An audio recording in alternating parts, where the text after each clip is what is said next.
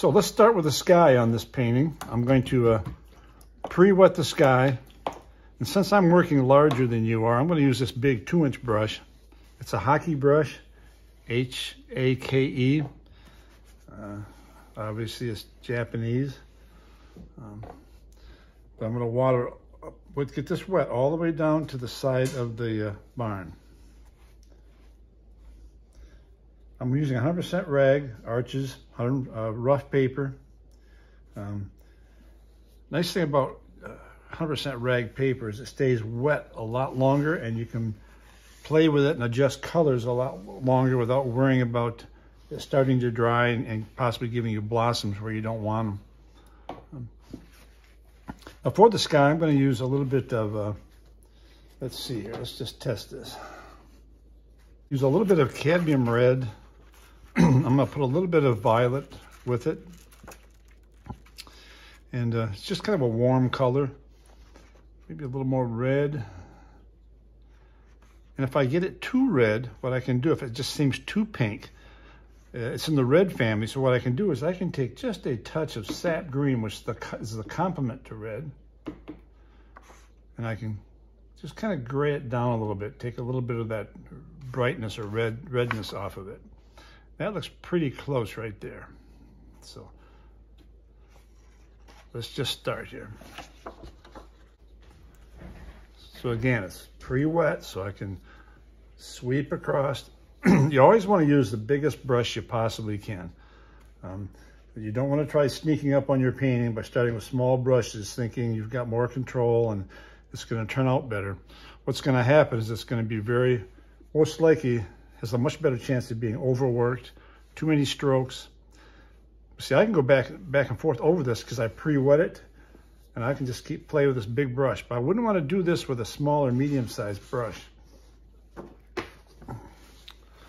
So what you want, what we want to do also here is you want to pre-mix the tree line back there. And I could have done that should have done that. What I'm going to use for that is I'm going to take some burnt sienna some burnt sienna. I'm going to add some ultramarine blue to it.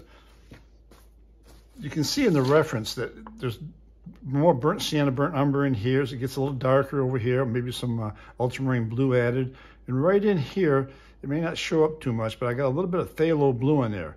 And it's just kind of nice. It kind of brings a little bit of this blue into the background. But I want these colors to be rich, but I want to put them in while this is wet. That way it goes soft on the top. I don't want a hard edge at the top of the trees. So you got to lay this in wet on wet. My paper's really quite wet yet. And uh, remember, I'm on a slant, about two or three inch uh, slant from the back to the front. So I know where the washes are going to go. If you have, if you lay it flat, your colors and your pigments can just kind of go in all different directions. And uh, we definitely, with these trees, we don't want these trees creeping up any farther than, than we have to. So here's basic color for the trees back there. I'm using a big round brush here, about a 10. Again, I'm on a slant. So because of that slant, it's not going to creep up any farther than, than I want to want to have it go. Carefully paint around the barn, top of the barn, the side of the barn. And I can go to a little bit larger brush, which is a mop brush. And uh, I really like these mop brushes. This by Creative Mark. It's called the Harmony Squirrel Quill. And it's uh, number six. So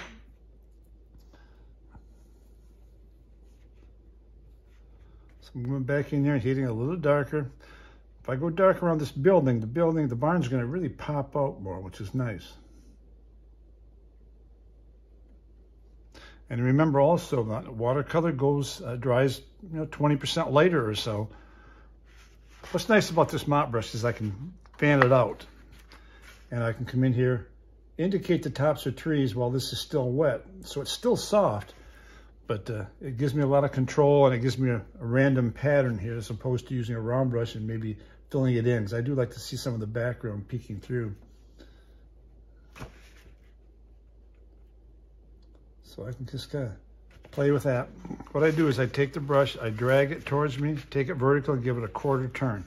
And if, as long as you don't have too much water in it, it'll fan out like that and it works great for the tops of trees.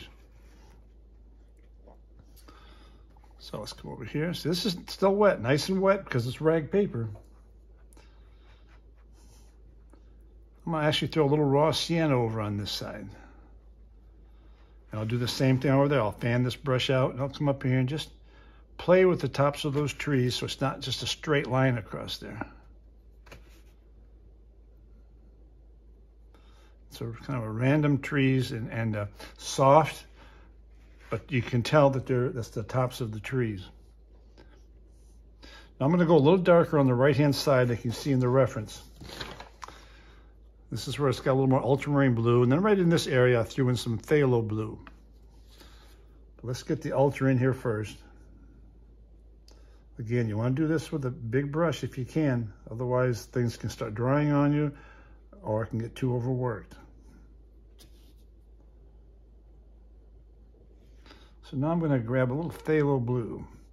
That's a it's a nice color. You got to be careful you don't overdo it though, because the eye is to go to that if you use it really, really strong, because it's such a such a powerful color.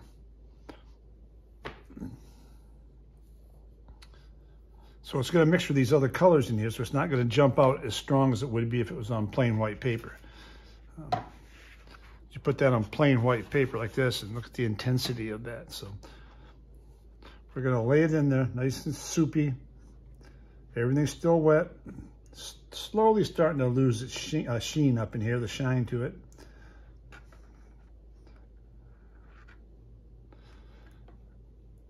I want this to be a little bit darker at the bottom over here. So again, while it's wet, I can go in there and throw that in. That's more burnt umber, maybe just a touch of ultramarine blue to, to make it uh, a little darker value. And you could do this painting several times, and every time it's going to look a little bit different. And uh,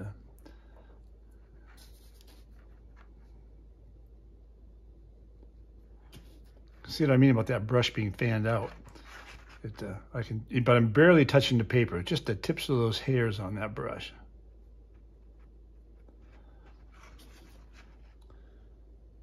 It looks strange, but it really gives you a nice texture. But you got to be really gentle with that when you put it in there. Let's come over here now. Again, going to do the same thing. I'm to fan this out. Come in here. Now see, this is still a little shiny here, still wet. But it is starting to dry. So in other words, these aren't going to spread out as much, these strokes, as they would if I did it down here where it's still real wet. But you can just give a little bit of detail and not get carried away.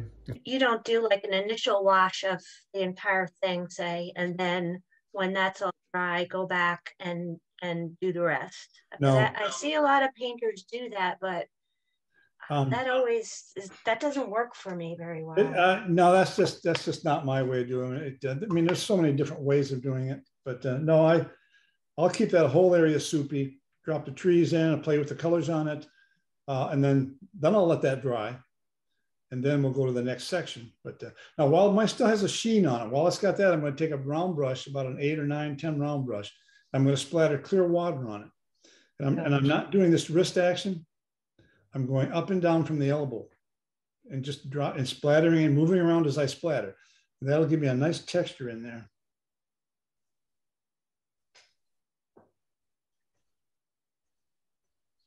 And you can see what that's doing over in here. If you get a little bit in your sky, that's fine too. But it's really nice to break that up with a little splatter of clear water. You've got clear water on the little brush. Yeah. And you can see what that's done.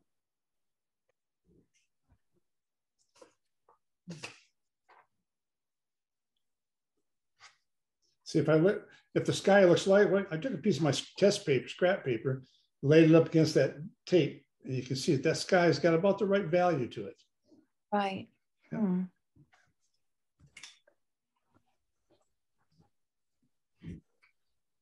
There is a there is a, a, painter's tape that comes about the color of that sky, but I haven't been able to find it.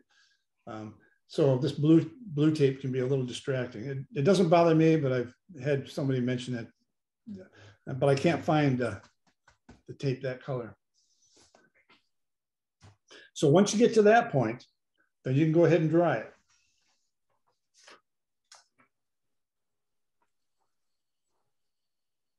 Some of the same colors we used on this tree line, we will be using around the barn on the left side and a little bit darker on the right side. So um, just, just know that you're going to have to mix that color up unless you were able to save some on the side of your palette. Um, if you got a big palette, you can find a spot to put it in the corner somewhere. But uh, it's a fairly easy color to mix up again. You can see that texture the water gives to it.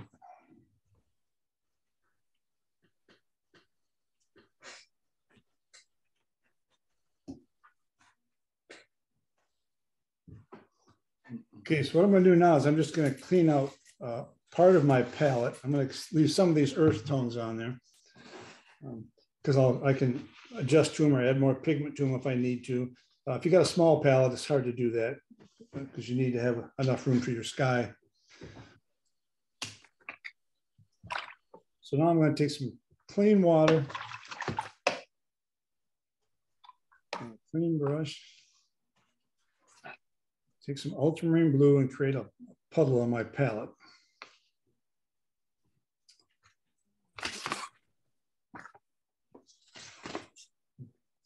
I say I always save any painting or anything that works that doesn't work out. Save all those. If nothing else, they make great test sheets. Um, and, uh, save save you having to uh, use a scrap piece or something. I have lots and lots and lots of scrap paper. I, I, I was just I, I was just going to say the same thing. I used to have a lot of, but yeah, I, I finally bought a pad of really really cheap paper. Uh, like that you would never want to paint on this because it's too thin, but it was only, I think it was 60 or 90 sheets for like 20 bucks. So I figured I'll, yeah, I'll buy that and use that. But so what I've got is I've taken ultramarine blue, blue. and it's got a touch of phthalo blue in it.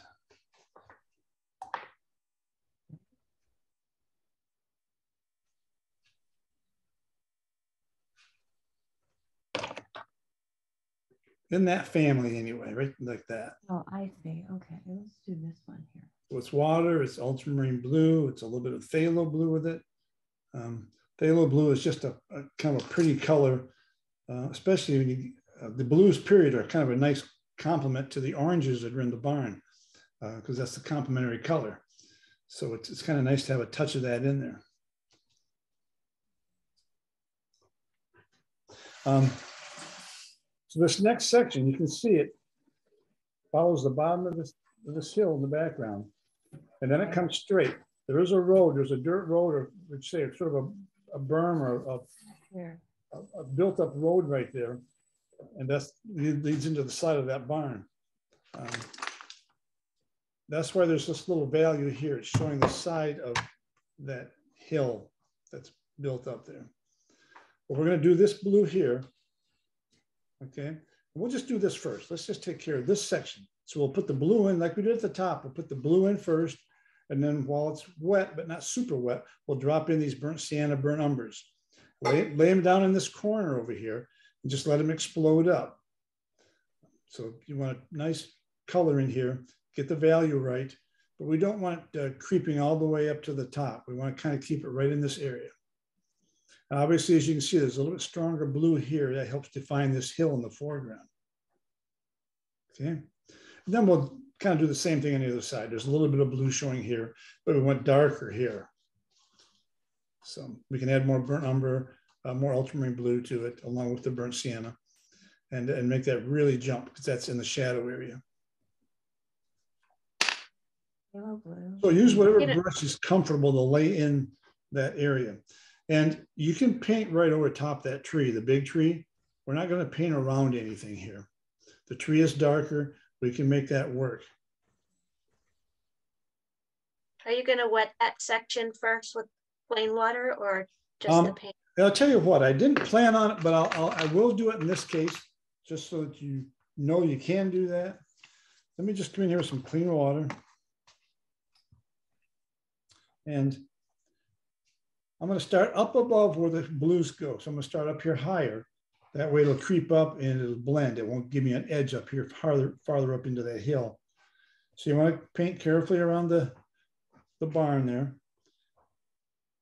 I've got a puddle in there, then follow the hill.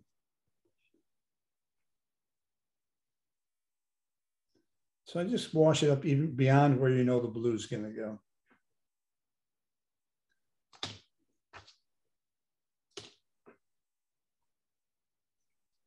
But again, we're going to drop the blue in. And while that blue's still wet, we'll come over here in this corner and we'll drop in these burnt sienna, burnt umbers.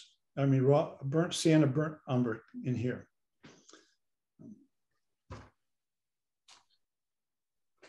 So mine's, I'm going to lay my blue in right now. And if, if you're not, if you're too flat, it might go up too far on you. So just be ready if you need to, to tip the front of your board so it doesn't go way up too far on that. So I'm just going to come in here with my blue. Again, use what the, use the biggest brush you can that you, you're able to control. And just something like that. And I might I might fan this brush out a little bit like that and just make a sweeping, really quick dry brush stroke across here, just for interest. What I'll do now is I'll just take a wet brush Maybe just calm that down a little bit. So it just kind of confirms the shape of that hill. It's got a nice round shape to it, and some of it. So I'm going to come in here with my burnt sienna, a little bit of burnt umber. Test that on my test sheet. So do I like that? That's pretty close. I think it could be a little more burnt sienna, not quite so dark now that I'm looking at this, I actually, I, I see orange in here. I'm going to put some orange in here and then I can add more darks as I go this way. So I'm going to get, grab some cadmium orange. Again, go from the palette to the test sheet. I like that. Okay. Remember, when you put these colors in here, that blue is going to calm them down anyways. It's going to neutralize them quite a bit. So I'm just going to start with my uh, this burnt orange here.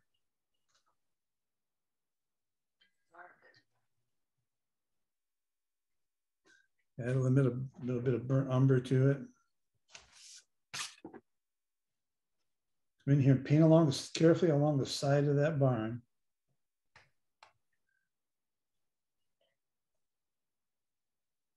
Did you mix that cad orange with your burnt sienna? With the, with the, yeah, it's pretty much went to cadmium, just a little bit of the uh, burnt sienna in it. I want to make sure it stayed to the orange in the orange range.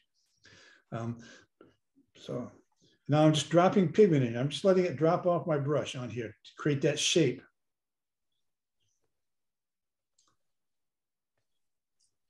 I think I want it a little bit darker right here at the bottom, right by the building. So I'm going to take a little more blue with my ultras, um, with my, I mean, with my browns, and just drop in a little darker value right here.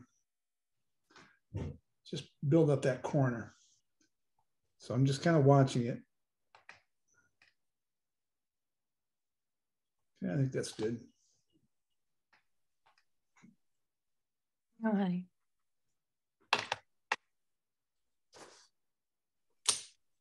I'm going to bring some of that same blue. You can see just a little bit of it peeking out here. I think I'll put a little bit more of that hill color in here, that blue on the side of the barn.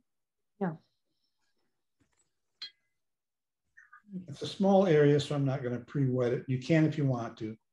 Um, if you feel like it's going to dry before you get it softened, want to come from the top with clear water so it doesn't have a hard edge up there. Just kind of drop it in here, knowing that the darks are going to go over top of this now. So I don't have to worry about any of this over here.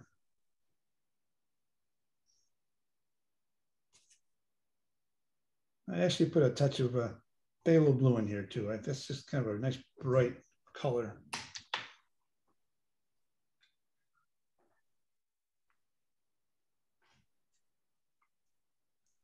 Mm. While that's wet like it is right now, I'm going to come in here with my dark earth tones, my burnt sienna, burnt umber, smoldering blue. Just drop these pigments in there. That's pretty dark, so I'm just going to dilute that a little bit. So add some more burnt sienna to that.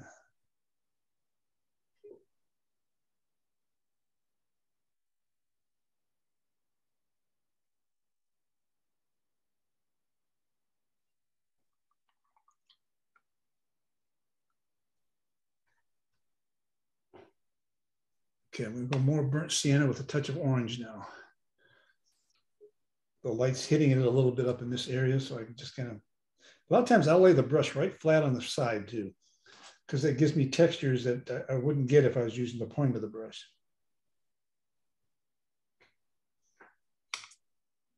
And I can also take a round brush that fans out pretty well and uh, Take it like this, drag it towards me, take it vertical, give it a quarter turn.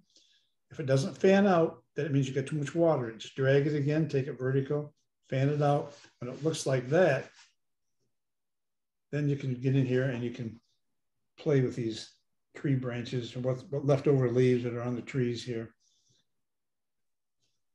And you may have to fan it out several times while you're doing this area.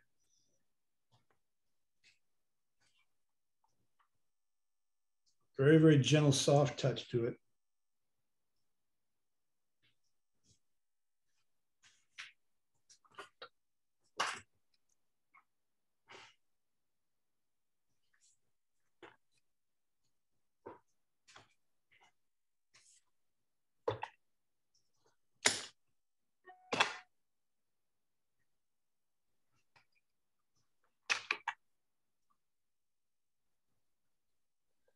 So I wanted a little more orange on the top because too much the same value. So I'm taking some cadmium orange that's on my palette with a little bit of the browns in it. And I'm just kind of laying in here, it's loaded up with paint. I'm just kind of dropping it in here because I want to have a little bit more of that feeling of orange near the top where the sunlight could be hitting it. Might even come in here and do a little splatter right in there.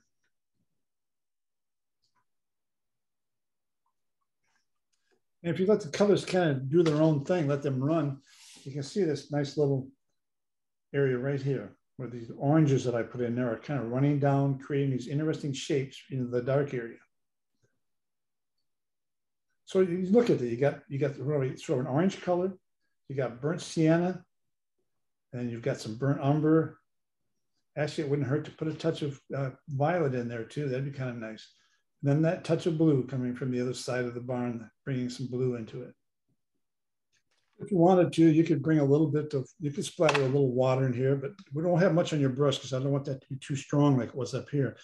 I'm just gonna really get close and barely let some of the water come off the end of my brush. And also when I look at there, there's some dark splatter in here. That's That would be the burnt sienna, burnt umber combination. Um, and I'm going to do a little splatter of that. Now I noticed in this, it looks like I did it when it was completely dry. Let's just see what happens if I do it while it's damp. I think it still should, some of the areas near the top should still hold their shape.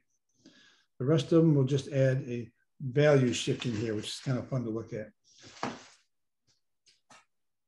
If you get some areas you think, oh, that's too dark, just have a paper towel ready and just kind of tap it and lighten it a little bit. What happened in here, you can't paint that with a brush. You have to let the watercolor give you something like that. That's really kind of a nice little gift right here, what you can get at letting the watercolor, getting out of the way, let the watercolor do its thing.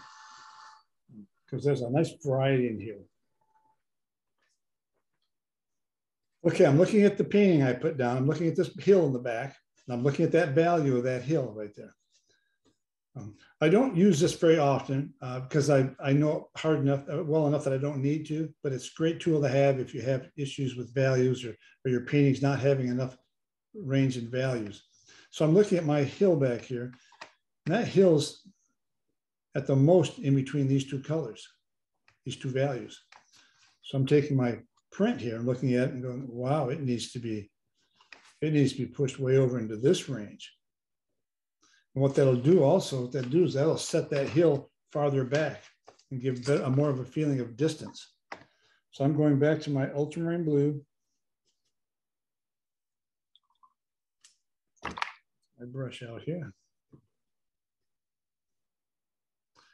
And I'm going to revisit that area. And here's how I'm gonna do that. Once I get a clean color. All right, there we go. All right, so I'm gonna start right over here at the bottom. Lay that brush flat so I can get a nice wide stroke. I'm actually gonna go right over this stuff over here, the trees. Like that. And I'm gonna rinse my brush out real quick and straddle the top of that so it blends right into the hill. I don't have any edges up here drying. So now I'm gonna look at that and decide, do I need to push it a little bit more? And I think it'd probably be good to do that. So I'm just gonna take a, this is all wet now. So I'm just gonna take the blue and drop it in at the base of the hill. Now I've got a better feeling of depth. It's lighter up in here, and but it's getting down into this little ravine area. And so it's got a nice, uh, a nicer value to it. It really makes it stand out from the hill in the foreground. Value thing. I got a lot of hard lines in my um, snowy area. Up in here, up in this area? Yeah, yeah, really bad. Okay. Um, what kind of paper are you using? Arches, Okay. Is it cold press, rough? What? cold press, 140. Yeah. All right. It's kind of hard, but if you've got a round brush, I mean, a flat brush that's uh, somewhat stiff, a lot of times you can come in there and uh, take a flat brush with water and you can break it up. Oh, Soften it in. So stay in one spot and work it until you think you've softened, done all you can do. Yep. Just and, and, and not not a blade, but turn it a little bit sideways or use the corner of it. Go back and forth, back and forth, and then tap it. And you can get rid of a lot of those hard edges. And, and certain papers are a lot harder than others. Um, Arches a little is a little bit more of a challenge, but you can do it to a to a pretty good degree too. So, um, Oh, I did one. all right, okay. so yeah, just take a brush, flat brush or a round brush, and get in there and just work it back and forth. Don't tap it until you think you've done all you can do as far as loosening it. And sometimes what I'll do is after I do that, I'll take a paper towel like this. Yep. Let's just say I got this area wet. I'll take it, go like that, wipe it right off. Okay. So when everybody's got this hill in here done and they don't have any wet areas, let me know and we'll work on the fence post and a couple of these trees over on the left side. I take uh, my small, my small round brush. It's number four round brush. I'm going to put those fence posts in first. And uh, they're, they're not brown. They're going to have some Payne's gray in them. They're, they, they've aged quite a bit and they, they aren't going to jump out as brown. And you know, they, you could have a hint of burnt umber in it, but basically it's that's going to be more in the gray family. Yeah. And we don't want to go black, really pitch black with these fence posts. They're off in the distance. Everything goes back in, in space, gets lighter in value. So just find a medium range value. And uh, what I'm going to do is I'm going to start right down in here. Here we go. Let's see one here. Try to do it in one stroke if you can. Now there's the next post is up, and they don't all have to be vertical either. These, these fence posts, you know, go in all different directions. So as they age, they settle. And uh, so don't overthink these. Try to do them in one stroke. Make sure they go smaller as they go back in space. Back up that hill, they got to go smaller.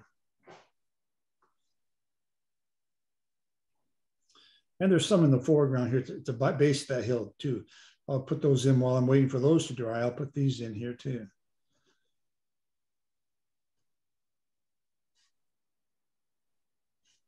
If your fence posts aren't in the same spot as mine, it doesn't matter.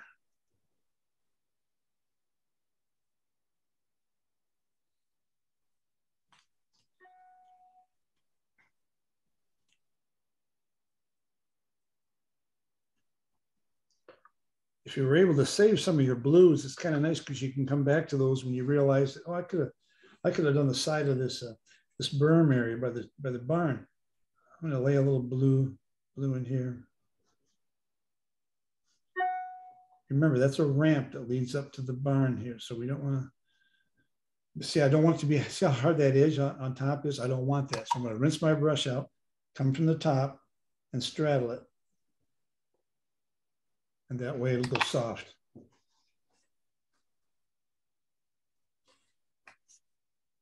So now I've got that in there, but it's not jumping out at me. A little darker, I just drop some color in the value in the corner. Oh. Okay.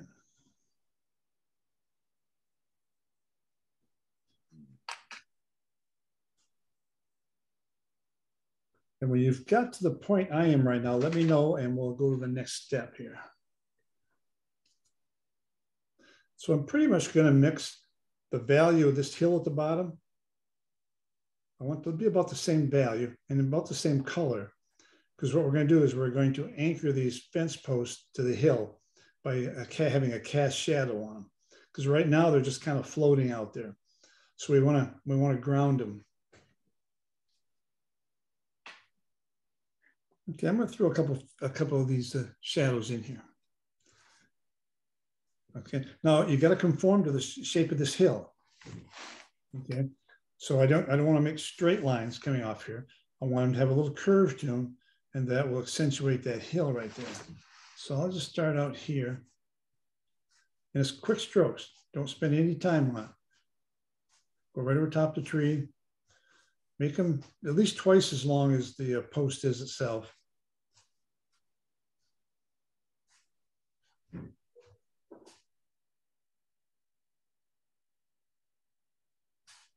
Looking at it, now it's a little bit light, so let's just get it a little stronger.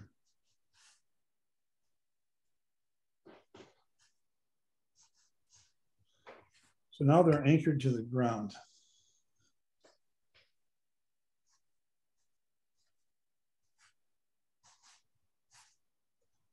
Look at the contrast in them. We want the shadows in there. We don't want, don't want to compete with the fence posts themselves. so they, they can't be that dark. Anybody ready for some trees yet? Yeah, yes, I small, am. Small trees over here and here. Oh dear. Yeah, Sure. burnt umber. burnt umber, a little bit of ultramarine blue, so it's not too too brown. Remember. And that's where your test sheet comes in handy. You look at that and say, okay, that's pretty close. Is me. I am. Sandy is. Okay, Sam. Oh, that's right. I remember that now. All right. So Yeah. for me, I turn it this way. And I and I hold the brush like this. I don't want the brush like this. And I don't want it coming from this side like this. I want brush to be dragging like this. It's so much easier to come in and do this stroke for these trees. Okay. So as a right-hander, figure out what works best for you. All right. You do look- them from the bottom up. I, I'm good. Yes, yes, yeah. Because if you start at the top and come down, then you got to slow down and, and try not to go onto this hill. Uh, carefully create the, uh, the base of that trunk. So I'm just going to get that in there. And I'm looking at that. As soon as I lay it in there, I look at it and say, okay, that's just uh that's too dark. I'm going to add a little more burnt sienna to it. I always have a paper towel somewhere within reach if I feel like I need to tap it and calm it down. Okay, so I'm gonna get I'm gonna get the basic shape in like that. Then I'm going to load my brush up. And then I'm going to just go for it, just like this. Okay, here we go. And I'm going to push the brush down hard now because I want to match that thickness. And then I'll let the press light up on the let up on the pressure as I go higher. So here we go. Down. Up. Okay. Well, I've got that there. I'm just going to do this one next to it too. Let's get it down to the heel here. Mash the brush down and then let up on the pressure.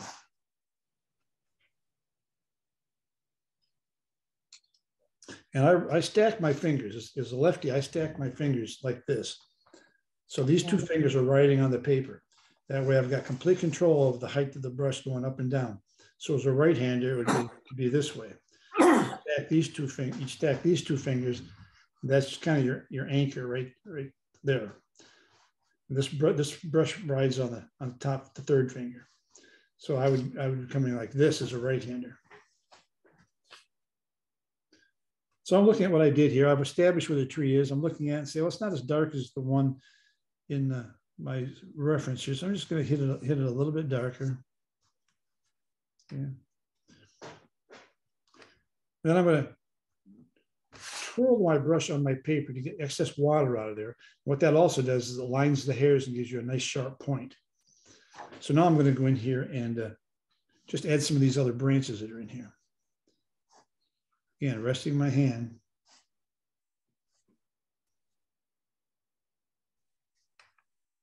I'll adjust the tree if I need to on the way.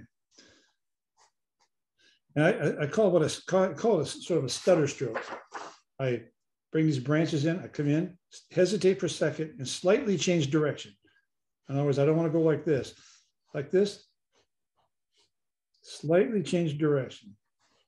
And then your branches are going to look much more realistic. Now, as a left-hander, I start at the trunk and go out to the left. As right-handers, you're probably going to want to start at the trunk and go out to the right. I do the exact opposite. Yeah, I'm just going to put some more of these branches right in here. And they don't have to match up. Don't slow down, try to get them exactly where I've got them. It doesn't matter. Light touch, and then just let it put a little more pressure on it as you come towards the tree. On the, for right-handers, you'd be on the other side of the tree. Light touch so the branches are nice and thin. Okay, I'm gonna come over here like this, cross down in here, connect with this tree. Eventually you get to the point where you can put them in really, really fast. And the, the faster you can do it, the more natural and believable they're gonna be. So I'm looking at my reference. I don't have to, I don't have to slow down and try to match these trees stroke for stroke.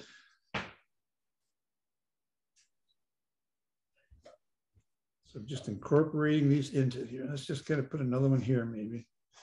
Maybe that goes up this way. Again, I can come in fast. Um,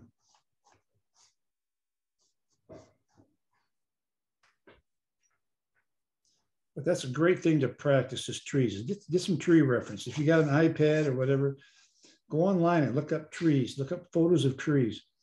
And then just you know practice just drawing a branch or two and just see that how they actually are constructed. It'll make your trees much more believable. I've, I've got probably probably 30 40 trees in an album because i never know a certain kind of tree i might want in an album whether it's a cypress tree or, or who knows what. Um, but at least i go in my file and i can get them but once you do this and once you get really comfortable with those you can paint trees and not even have to dig out your reference unless you're looking for something very specific or very unusual. Awful. Mm.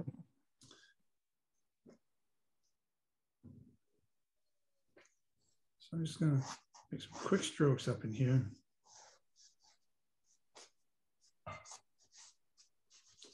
Sometimes the quicker you go, the better they're going to look.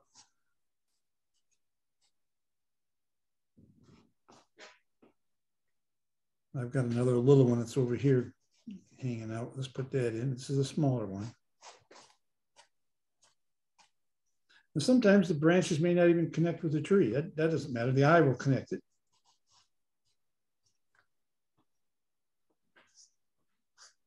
Okay, that's pretty good. because we're going to have some branches from the big tree that are going to come in here and overlap these trees.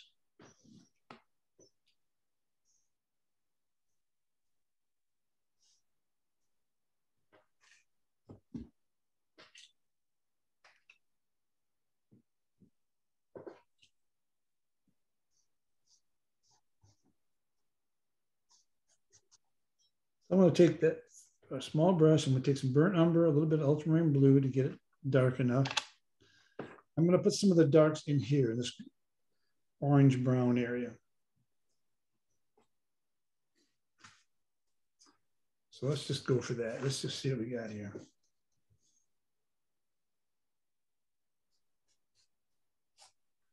Looking at that, is that going to be dark enough? I think I need a touch more ultramarine blue with that.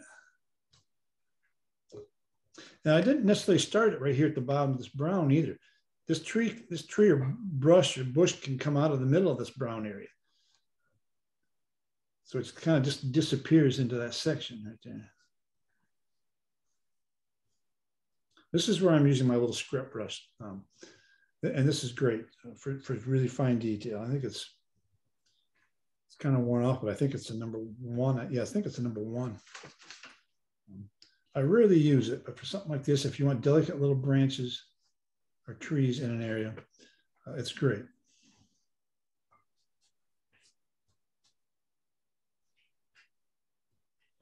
So I'm going to have them come out of that brush and come up into the blue area a little bit, up into the hill.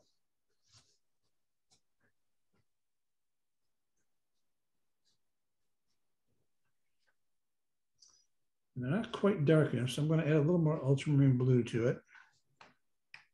Back in and hit the trunks, the main branches, biggest branches.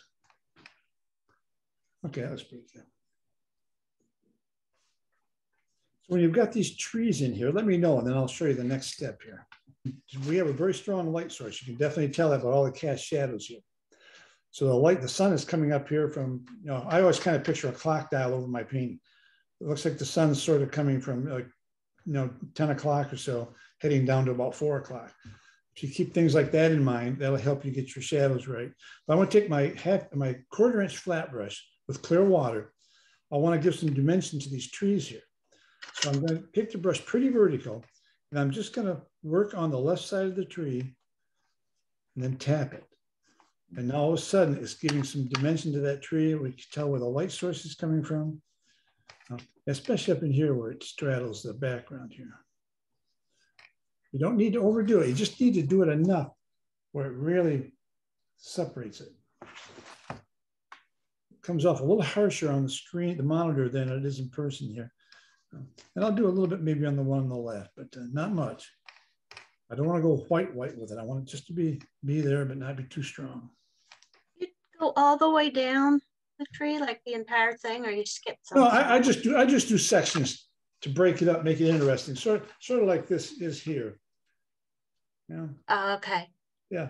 But you want to be careful. You don't make them all a half inch. You know, you get some small areas, you get some larger areas, and, and then just let them fade off. But that uh, definitely gives some dimension to the trees. It helps give a slight indication uh, where the light's coming from. And once you get this value on the side of this berm here, this blue on the side of the uh, entrance there, you can put those fence posts in then too along the top of the hill here.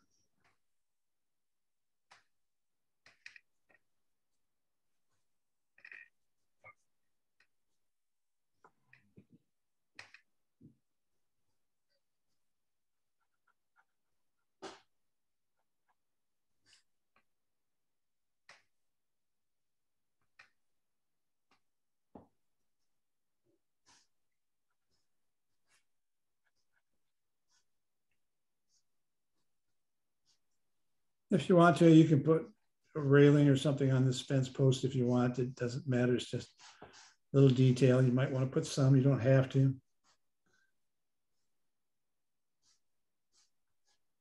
Very thin brush.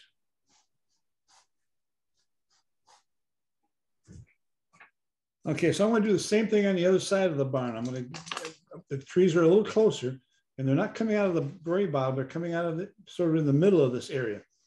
So the trees are disappearing into the brush at the bottom. So just find a brush that's about the right size to lay those tree trunks in. Um, this is a little darker value, so I'm going a little bit darker uh, pigment here. Um, a little more ultra with it.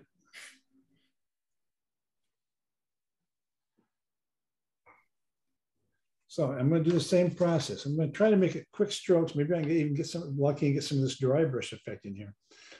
It all depends on the texture of your paper, whether you can get that. Uh, but you got to definitely have to go quick to do that. And I may get it or I may not. So it's kind of like a hit or miss thing. But since I'm a left-hander, I'm going to start over here and work towards the barn. Right-handers, you can start right here at the barn and work your way out, which is kind of nice.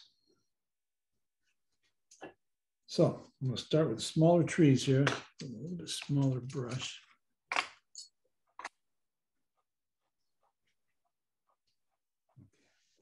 Let's just start in here? Okay. I can just kind of let that blend right in there. I'll put another one over here too.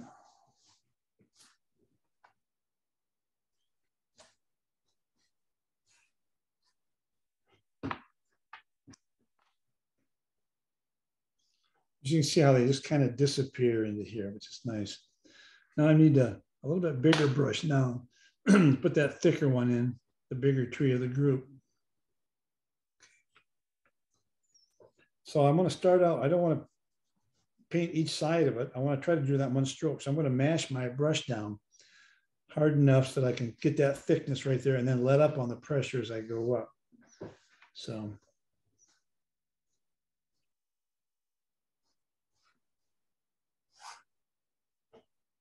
And I did get a little of that dry brush in there, but I think since the shadow's on the right, I'm just going to kind of fill it in a little bit right there.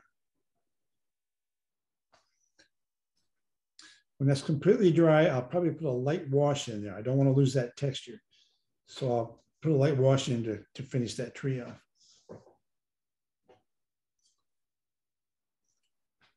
So now it's just a matter of adding more small branches tree over here coming out of here, goes off the page. You can tell I'm, you can hear my fingernails running across the paper. That way I've got a good anchor. I'm really anchored well with these two fingers. For right-handers, it'd be these two fingers. That way I really have control of the height of that brush. I don't want to start a tree out and all of a sudden it gets fatter as I go up here. So that, that anchor really helps.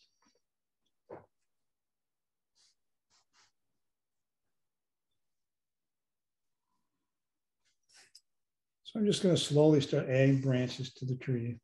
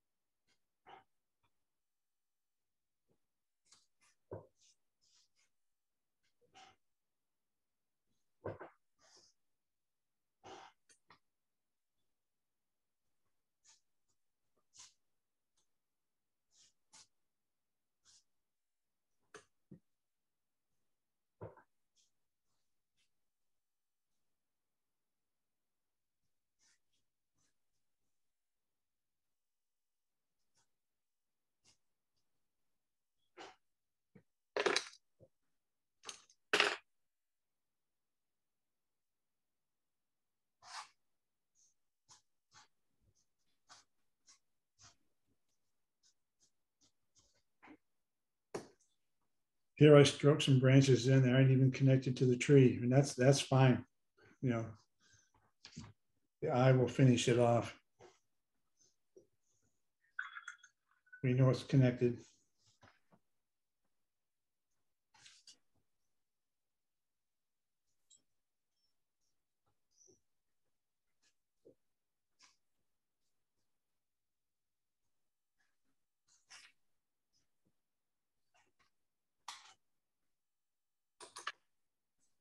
So appreciate the areas that turned out well, knowing that uh, if you did it again, you would you would change this, you'd change that. I mean, that's that's just part of the game. It uh, it all falls together. The more you practice, the better you'll get at it. And, uh, all right, let's run this one off the top of the page.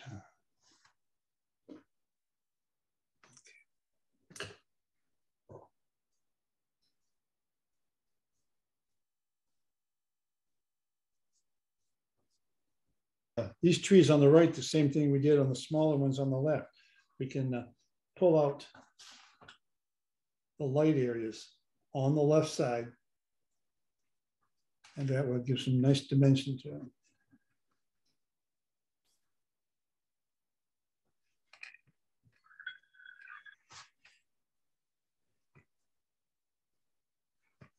Just don't make them all the same size.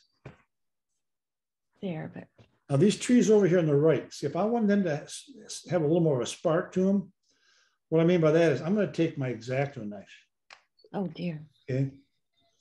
And uh, I'm gonna hold it fairly flat to the paper. And I'm gonna lay the point down Oh, and drag it and scratching the surface on the left side, on the sunlit side. But Look at, look at that sparkle it gives you. Wow. So it's better than trying to go in there and think, oh, I need some light in here. I'm gonna go take some white paint and- and, play with it. No, don't do that. Take an X-Acto knife and, and uh, come in there and do that with it. It's really. And this is actually, this works great too.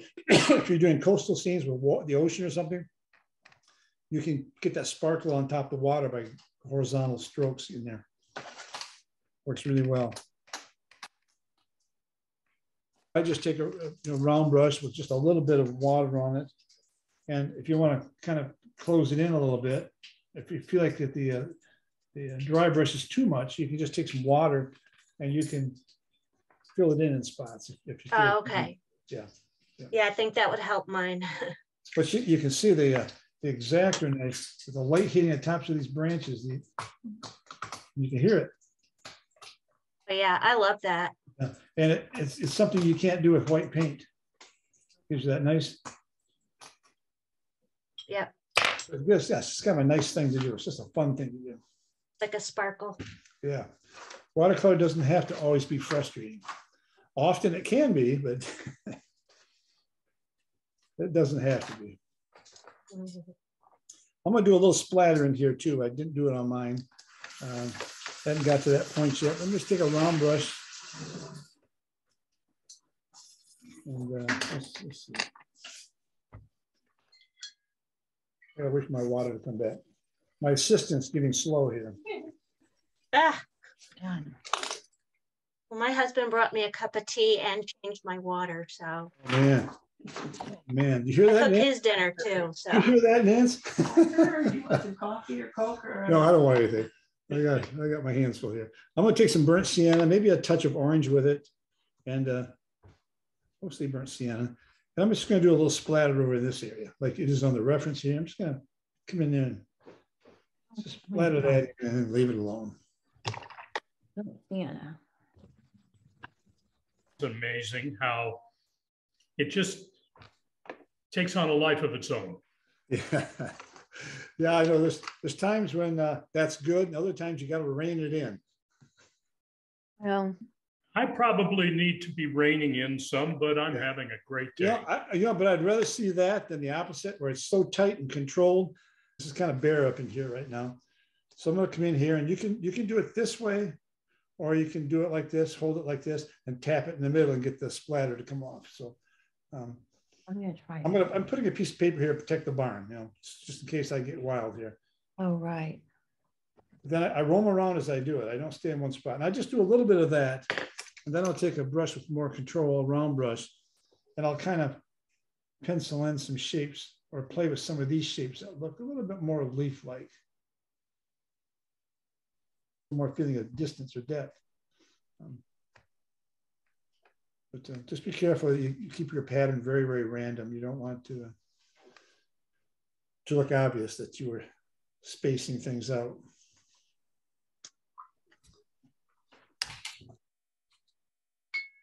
And I might do just a little bit over here too, just a little bit of splatter. Okay, so that kind of settles that in. So we're taking it step by step, background, middle ground. Um, now what we're gonna do is we're going to go to the barn. And then we'll come to the foreground. So it's one, two, three, four steps. Um, As opposed to having washes all over the place and feeling out of control. It's just much easier and you can keep it fresh and loose and, uh, and still have control of it. So I'm going to clean my palette out a little bit, get some of these earth tones out of here. So I'm going to spray it with my sprayer. I just noticed we've got trees over here. I didn't put those in. Trees coming off the page into the scene here. So let me go back to my burnt sienna, a little bit of burnt umber. I'm going to put some of these trees coming into the page and off here. So There we go. That helps. That helps the scene to it. Uh, brings another element into it, into the picture. here.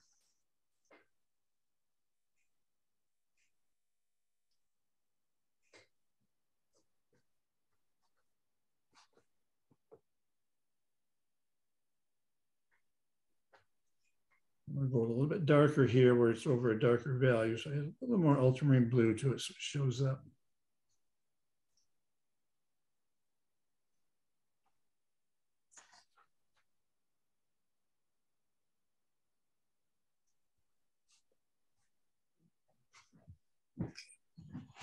So I'll do a little splatter up in here too. So I'll go back to my orange, my burnt sienna.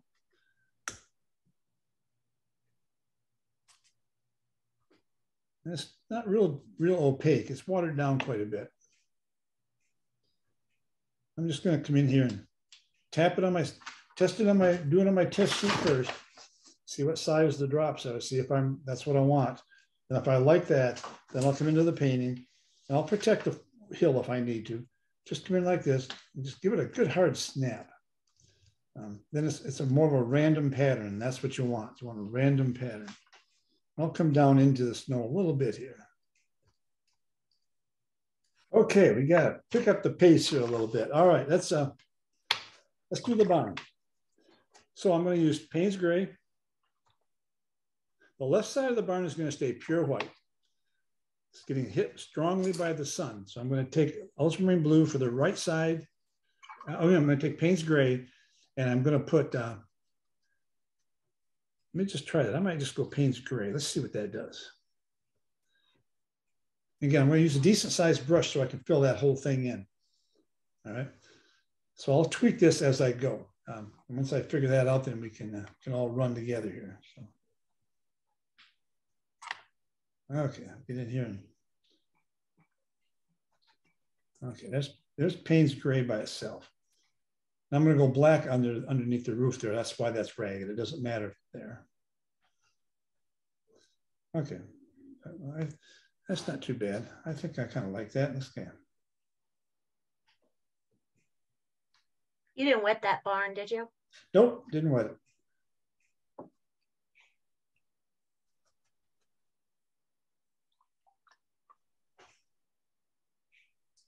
We don't need to have it too dark either, um, because that is is the focal point. So we don't want it to disappear into the scene here. So.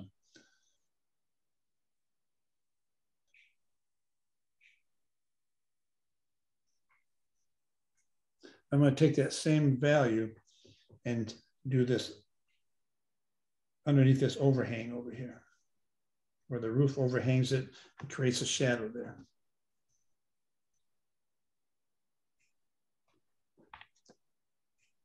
So I'm looking at that and thinking, okay, that's that's fine. I don't mind that. It's a, it's a one flat color. So why not take a little bit of diluted uh, burnt umber?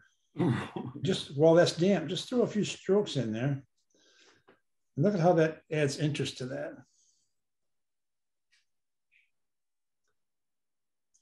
What's kind of fun to do since that's going to be orange at the bottom here, I'll, I'll just take a little bit of orange and just shoot some of that up into here. And it kind of gives the impression that uh, the barn maybe was painted one time or rust or just, just gives it an aged look to it. Um, yeah, so I like that. That's good.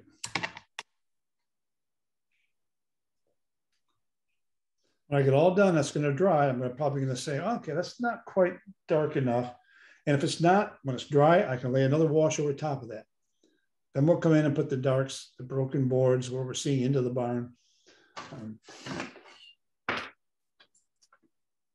a great tool to have uh, for making straight lines is a five gallon paint stirring stick. Okay. This is wonderful when you really need to have control. Uh, you don't want to use it as a crutch, but there's times where you want to make perfectly straight lines. Um, and what you do is you hold this at about a 45 degree angle. Now, again, I'm looking at, you're looking at a left-hander here. I rest these knuckles there, put my thumb here on the board and on the paper so it doesn't move on me. I keep it about a 45 degree angle. I ride one or two fingers on top of the railing here, You want to hear that ferrule, the metal ferrule hit this wood. And you don't want to reach out. You want to look, get over top of it, looking down. And drag your drag it like this. And you can make really nice straight lines.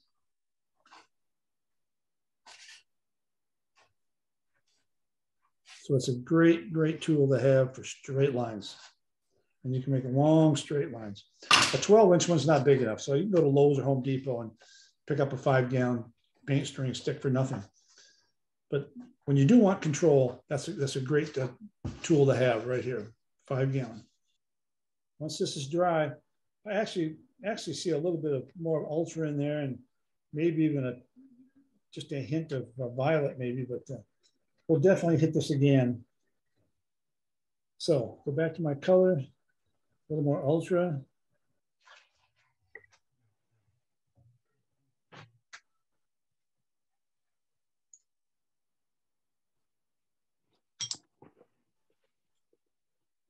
All right, test it, see if it's dry. Looks like it's dry, okay. So I'm just gonna come in here again.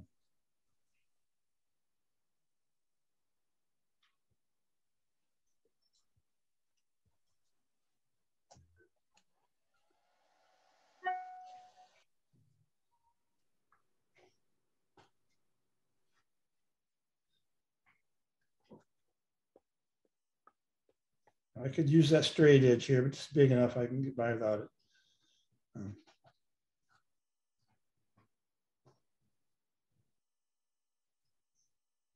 And the barn's got a little bit more value on the left side. There's the sharpest contrast is right at that corner. So I'm just gonna drop a little more pigment in right there. Even make some random vertical strokes.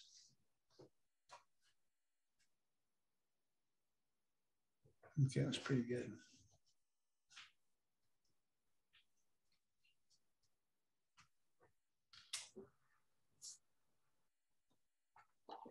We probably used a straight edge, uh, didn't we before Ivor in one of the workshops? Yes. Yeah, I thought so. So, okay, now it's dry. You can do it freehand. If you're gonna do those, these lines across here freehand, you're gonna wanna turn the pad, whichever makes it easiest for you to rest your hand on here and your fingers and slide up. That's pretty much Payne's gray, pretty dark value. So I'm gonna come in here. Again, got this in here like this, supporting it here.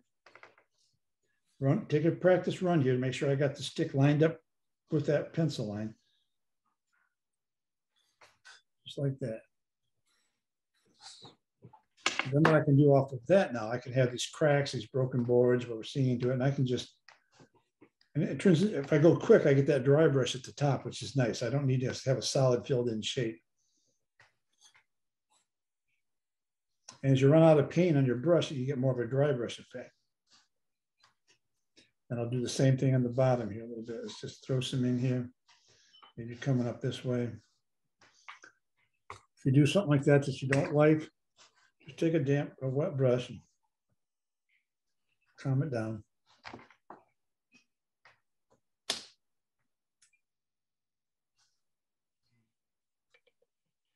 If you just kind of just kind of go like that. My whole side of my hand's resting. So I just go like that. Just go like that. That way you'll get vertical strokes in there.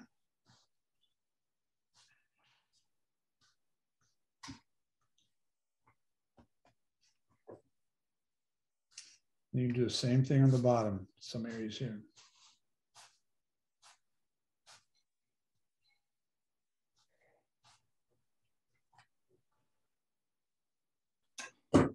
I'm gonna go a little bit darker here still. Just I'm just gonna lay and I've actually got some uh, burnt umber, but I got some orange in it too. Um, now I'm gonna take the wet brush, just clear water, and just run down that and let it transition into the rest of the building. So it's just a graduation here. Um, and if I feel like I want it a little darker underneath here, the overhang, I can come in here and throw that in there. I think that probably helps too. Okay, that takes care of that.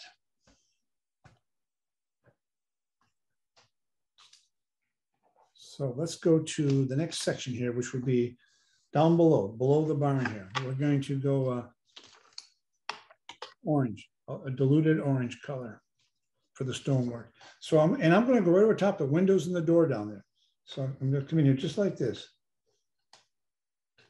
Just like this. Fill that whole thing in, just quick as you can.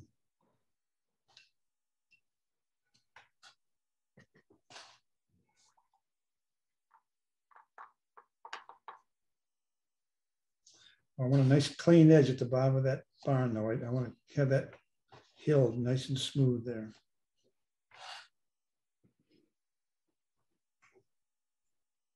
Okay. And again, I'm going to go a little, a little bit darker here like I did with the barn on the corner here. Just drop a little more pigment in it and let it transition out.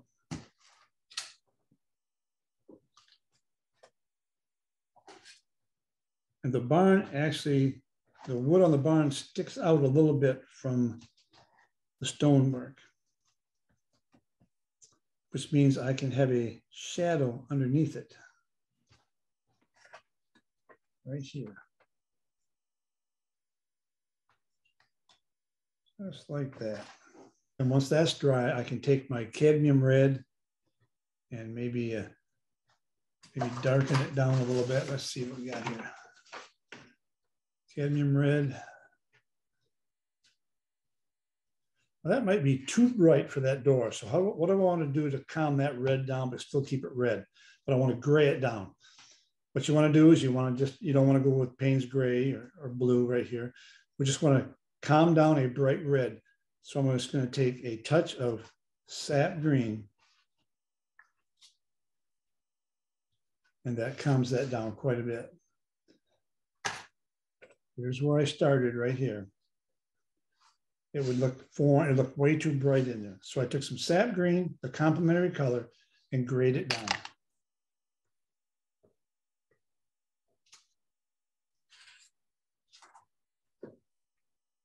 And I'm peeing right over the thickness of the stonework there too, because the darks will go right over top of that.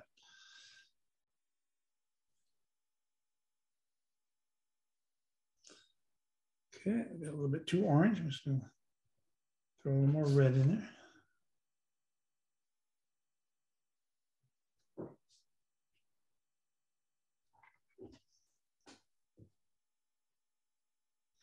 Oh, I'm looking at that now and say, okay, I like that basic color. Just gonna throw a little more red. While that's wet, I'm gonna throw some straight red in there. So it still won't be as bright as it was if I hadn't put it into a wet area. Then I'm gonna take a little more sap with my red. And I'm gonna create the shadow that the barn, the side of the barn is creating underneath that door there. So I'm just gonna come in with a darker value in here. And what'd you put in that, the red, what'd you mix it with? Uh, For here, Yeah, a little bit of sap green, just to gray down the red, okay. just a little bit. And as colors dry, they, they dry lighter on you too. So I'm looking at the side of this barn. Um, that's not quite dark enough. So I'm just gonna grab some orange and some, lay this in here at the corner anyway. And then I'll take clear water and just transition it out into the rest of the barn. I like that better. Now, what I did here is I'm gonna have to go darker here once this is dry. Um, But I think what I'll do is I'll put that vertical dark area in first. For that, you can just any, use any dark value. It can be Payne's gray with a touch of red. It can be just, just a dark, dark color. Just gonna draw that in, paint that in.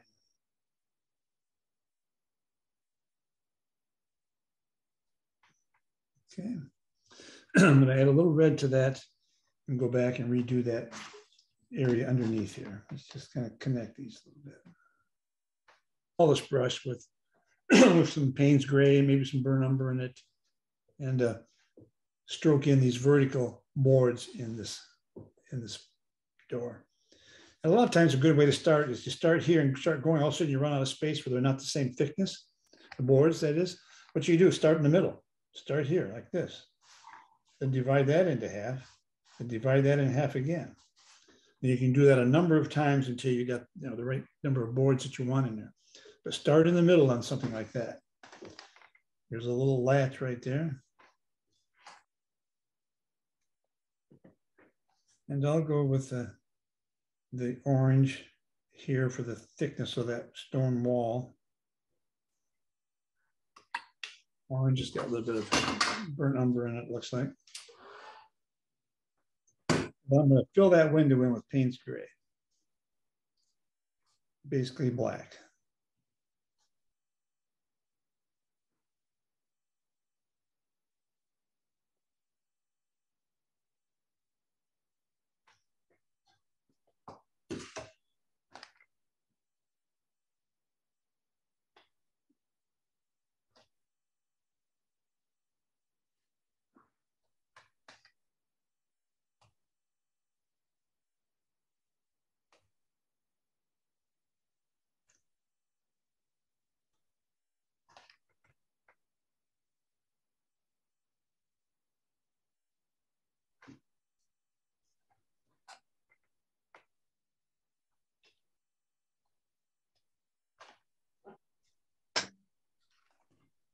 I'm gonna paint that overhang here, this dark overhang, which you see right here.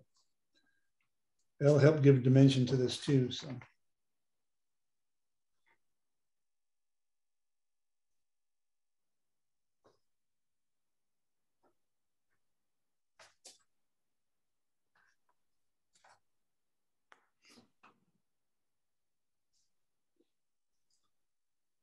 A lot of times, you know, people think, oh, you can't go back. Well, I thought this was too weak, so I'm hitting it with just a wash of wash of orange, and I think it may have a touch of uh, brown in it.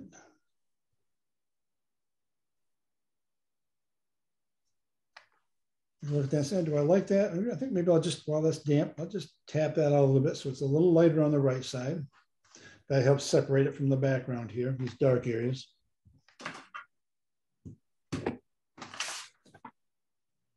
Drag it, take it vertical, fan it out like that. And then I'm going to come in here, start right on this sticky note, keep that horizontal, come in here like this, and throw in some reds. Great way to do it. I could have had my sticky note up a little bit farther, it looks like, but that's not a problem.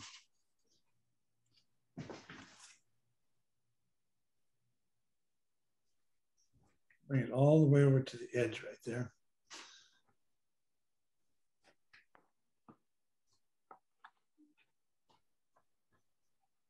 So I'll take the same colors, put the sticky note at the bottom this time.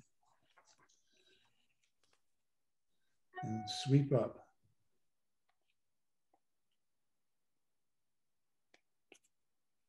And I'll slow down and fill it in a little bit more in areas that need it you know, what a great way to put something like that in there. Otherwise, you're slowing down, you're painting the top, and then you're stroking it and painting the bottom. Here we get in and out, and we're done with it. If you leave too much white, you can always take a damp brush and you can blend some of this together, just a hint. And I, a smaller size, this is fine here. But when I look at it this size, I really want to put a little texture on it. Very, very dry brush. You can see it right here. I think that would help it. So I'm going to go to my Payne's Gray. Here we go. Get all the water out of it almost completely.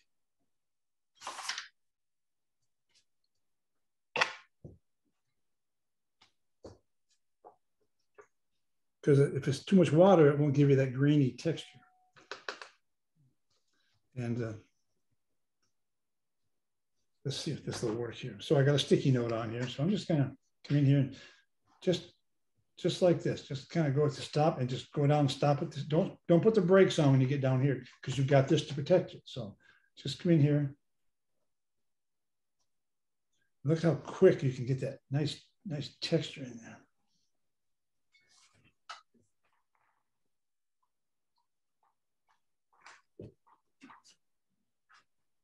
If I feel like oh, I'm kind of finishing area off here, I'm just going to take just a dab of my titanium white. Make sure I've got clean water.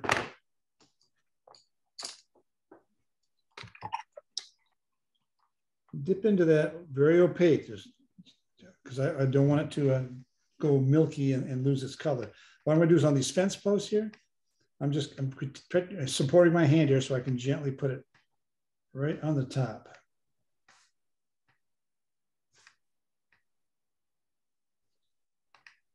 And as they go back farther into space, you aren't going to see it, so we don't really need to go back there. But um,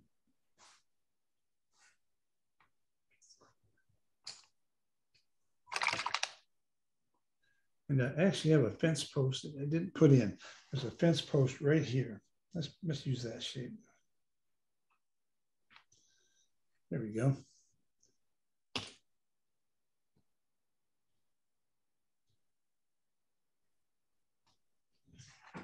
that kind of connects right here. So I take a practice run, my whole hand's resting. Now in, there's where I want to go. I'll lower the brush down. If I got three of them here, I can do the top one and do the bottom one. Then I know I just go through the middle on the next one.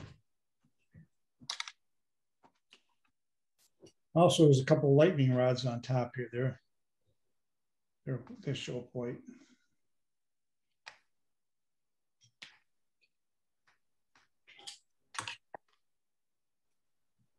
This kind of gets lost in here a little bit. So I'm going to take some Payne's Gray.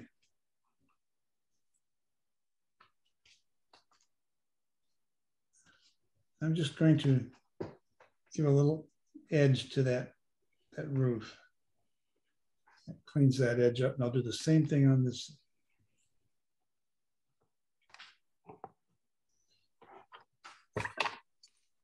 You can kind of see how that cleans that up. So I'm looking at this door over here. You see, you can go back and forth. Look at this door, and I want to push that a little redder yet. So I'm just going to throw some red on there. You can take that titanium white we had, or each you can use, and you can go in there and you can throw in that window.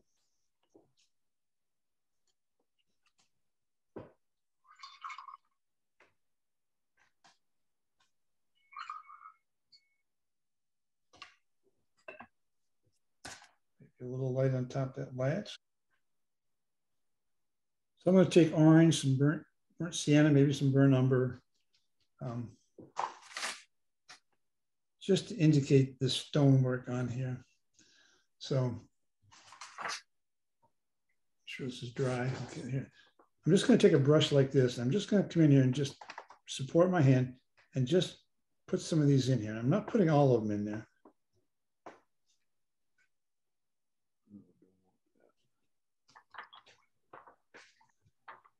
And if your orange is too bright, you can calm that down with a little bit of green too, sap green.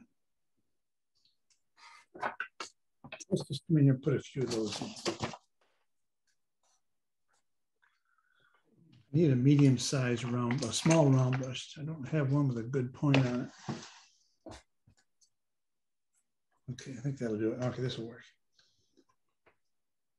So I'm not worried about, okay, you got these bricks have to be spaced out a certain way. I'm not worried about that. That's too much work. That, that becomes a rendering then. I don't want that. So we're just going to indicate a few of them. Just, just a random pattern like that. Just under each one of them, just to get the feeling they're sticking out a little bit. I mean, very, very little.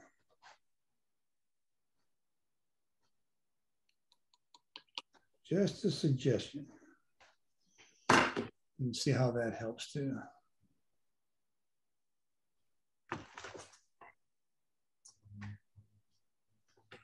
I put a, just a value for this overhang area where the, the door is. I'm just going to define that a little bit more. And the vertical just like that.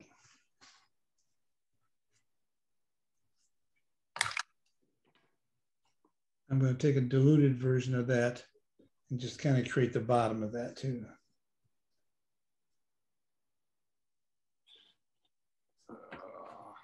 Just like that.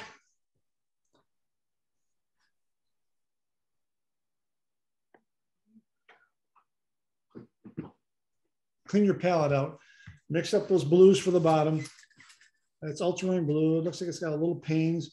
Actually, looks like there might be a, just a touch of phthalo blue. Phthalo blue is a cool color temperature wise. So that's kind of nice for ice. Give it an icy, snowy feel on it. So clean your palette out. Make sure you got a clean brush. Um, we're going to use a, a big brush. So my bigger mop brush here. Yeah, and what's the colors we were mixing up with? Right down here at the snow. Yeah. for the- Okay, I'm gonna use some ultramarine blue. I'm gonna put a touch of phthalo blue with it. And I, let's just see here. That's actually pretty good. I might put just barely touch my Payne's gray, so it's not quite too blue. Touch of that, yeah. Something like that, Ivor. It's ultramarine blue, a little bit of phthalo blue. Um, we want it to be a pretty blue, a clean blue though. So it's got, I definitely got, I definitely have phthalo in this. I can really, really see it here. Um, but if you overdo the phthalo, then it becomes very overpowering. So you gotta kind of have that kind of creep up when you add the phthalo in there. Again, make sure you mix up a big enough puddle too. This is where you're gonna want your salt ready and your spray bottle on this. So here we go. I'll go across the bottom. This. A little more, I can tell, as soon as I did that, I realized I need a little more ultra in there. Remember, it dries a little bit light. Now I'm gonna take another brush and straddle those edges. I don't want those to be hard like that. I want them to be soft. So come in here while they're wet and knock them back. You're using just plain water on that? Plain water. Plain water.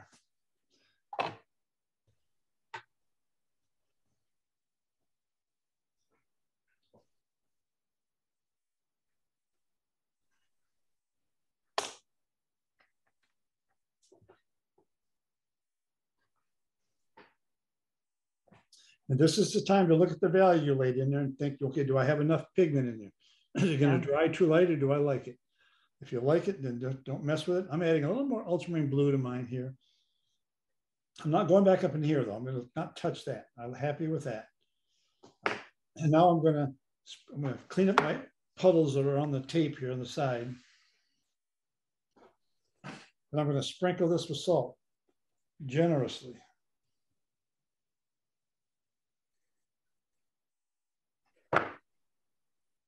And then I'm going to take my small, small spray bottle here, and I'm not going to shoot down at it. I'm going to kind of come from an angle. I'm not heavy spraying. You know, that's that's all I'm going to do to it. What that does, uh, the the blue we put down is wet, so that'll affect the salt to some degree. But sp- uh, spraying that clean water on clear water on top of it with that mister really activates the salt you really get that icy feel. And you can see how quickly it's changing down here. So I'm just looking at around at values. Is there something that I can kind of finesse that, uh, you know, could, could look better than it is? I might come into the roof here and just kind of throw a little more value in there. Use a small brush and just I can't really wipe that salt off until it's completely dry. Otherwise, I'll smear it and it'll affect the, uh, the appearance of it. I'm getting pretty close.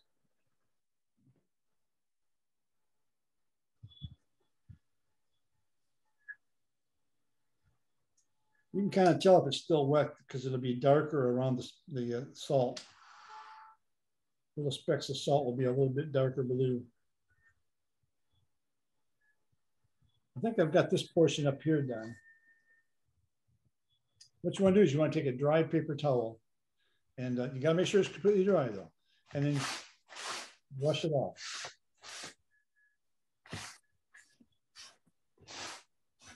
And you're still probably going to feel a little bit of salt, but that's normal. Don't worry about that. Just leave that on there. So I'm going to lay, I'm going to mix up some colors for the tree. I'm going to take, uh, looking at this tree, so I've got some, obviously I've got some ultramarine blue in it. I got burnt umber and burnt sienna in it. Um, I actually see a little bit of raw sienna, I think, which is kind of a nice, it's got, raw sienna's got a touch more uh, yellow in it. Again, I'll go to my test sheet again here. Okay, if I add a little blue to it, what happens? let's, let's just go a little darker blue on this side. Just kind of pretend I'm doing the tree there. Look at that. I'm gonna put a little more raw sienna in there. You can see the difference with raw sienna. That's a nice color. Okay, so there's my tree. Um, and a lot of times, just for fun, I'll throw something in there that's out of character. It's kind of fun to do. There's there's some phthalo green in there. What? I know. I'm sorry. I'm sorry. I, am a mess. but I know it because Nancy reminds me all the time. but it has interest to it, even though it's you know maybe foreign. But um, I see up up in here my reference. I see a little bit. It looks like it might even be a touch of a, a phthalo blue, maybe. So for those of you that don't like the green, you can put a phthalo blue, maybe.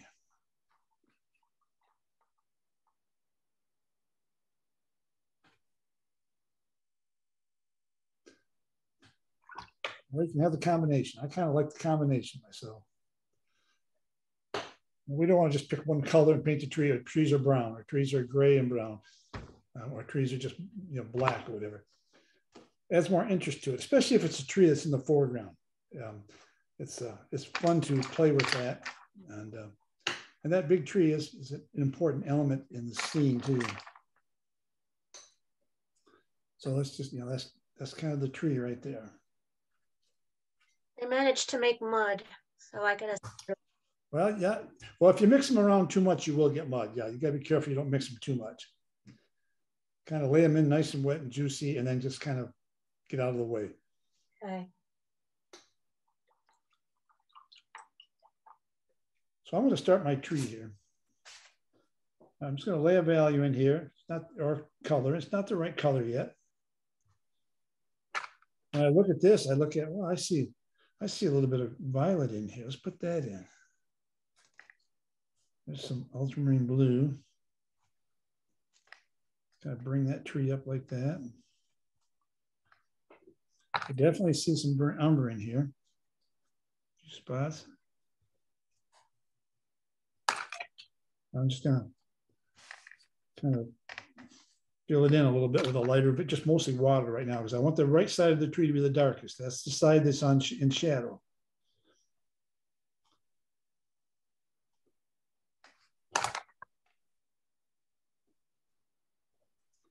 And if it's kind of kind of a heavy right here, I'm just going to take a damp brush and just maybe pull out some color in a few spots. You know, more into the Payne's gray now.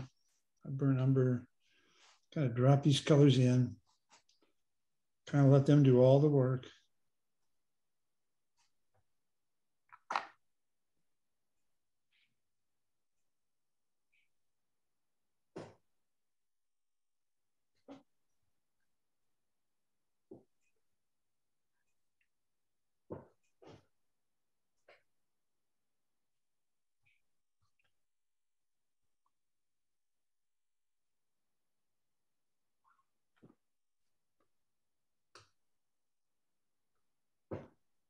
A little more ultramarine blue on the side here. I want that shadow side to be darker.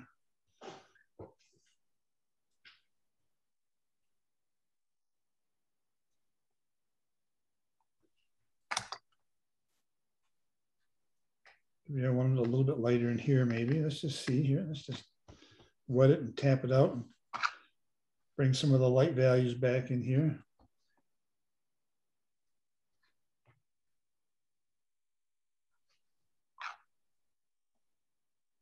Again, we can do this when the tree's dry too, which is kind of fun, like we did before. We can pull out some, some shapes. I'm just gonna put some of these branches in.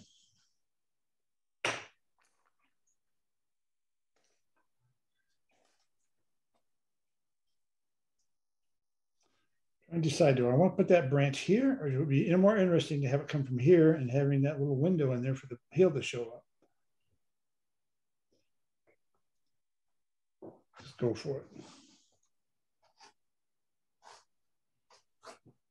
Do you notice how I hesitate on my strokes? I come up here and slightly change direction.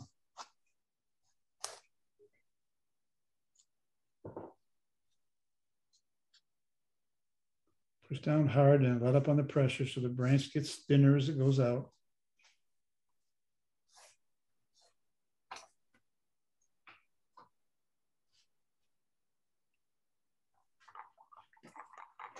Here's where I can go with my small script brush for the delicate branches in here.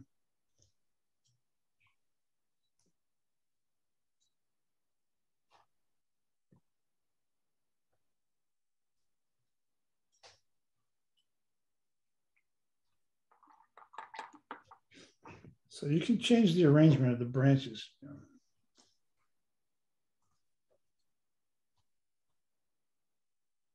Just tie them into the tree. They don't go, they connect with the tree and they kind of round it on the bottom, especially.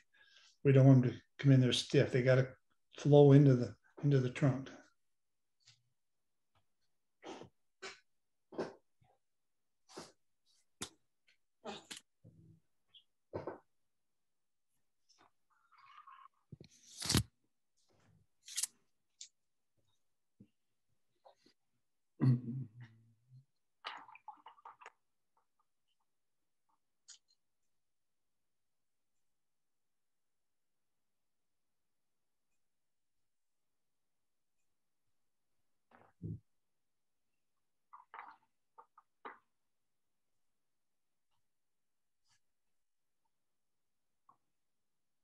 You know, you put in tree branches, you're gonna definitely gonna have some that you don't like. But by the time you put more in there, no one's gonna notice that one that you think is kind of strange, except for you.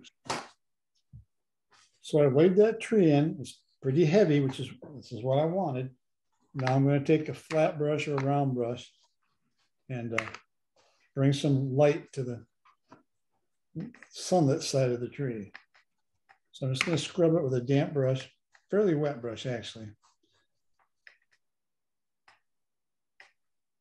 And then I'll, I'll tap it out when I think I've kind of got what I want. See what it looks like.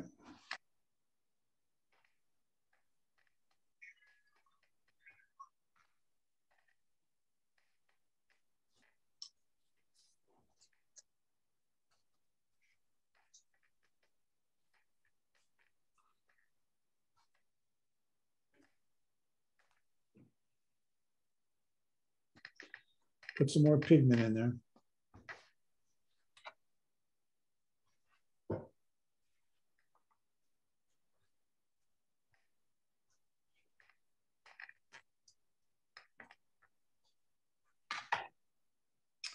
Sometimes I'll just take the brush and go somewhat horizontal and get some strokes in there. Kind of gives an interesting texture to the tree as opposed to just going vertical and pulling it all out. Um, it's like anything else. If you do too much, well, you go back in and fill it back in. But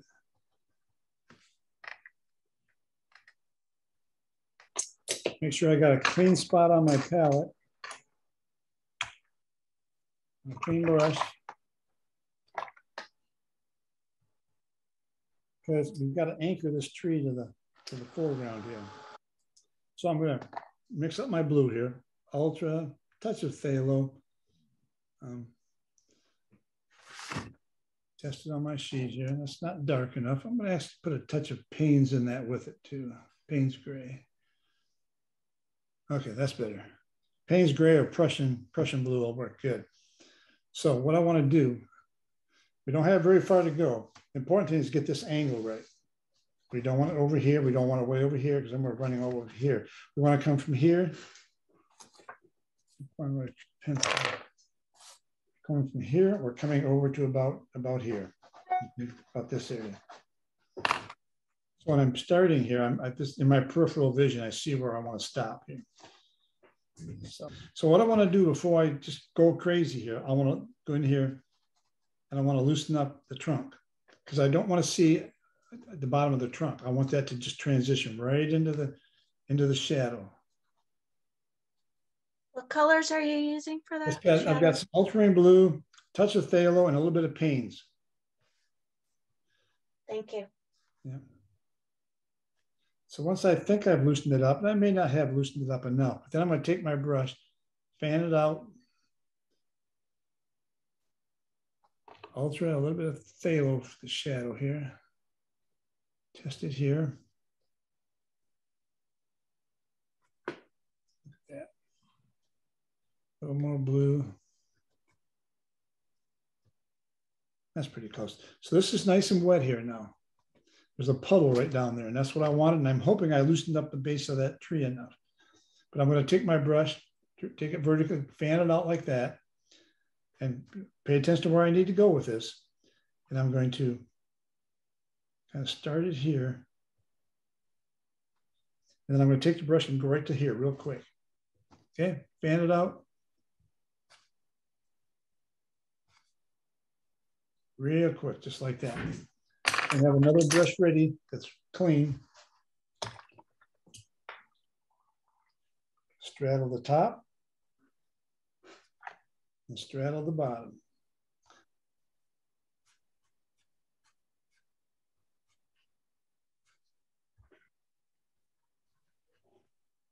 I just splattered a little water in it, just break it up a little bit.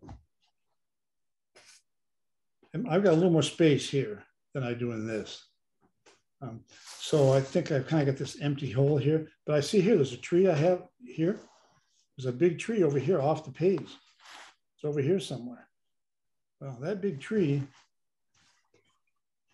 is going to throw shadows in here. There. So now it, tells us that there's a, a, another tree that's off to the left, off of the page, and it, it puts something in that spot since mine's bigger here. I think what I'll do just for fun here is I'm, I'm going to take some titanium white, a good size round brush, some clean water.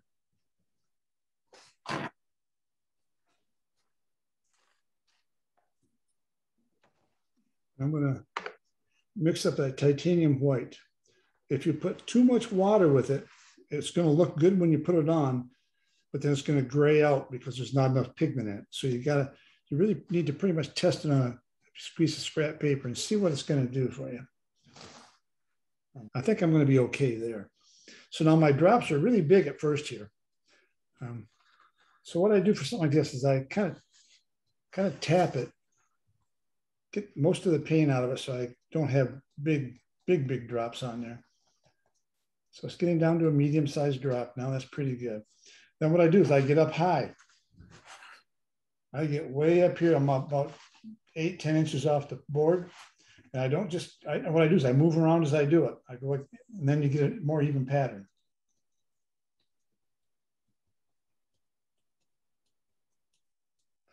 Running out of paint here, okay. A little more paint. Test it on my scrap piece, okay.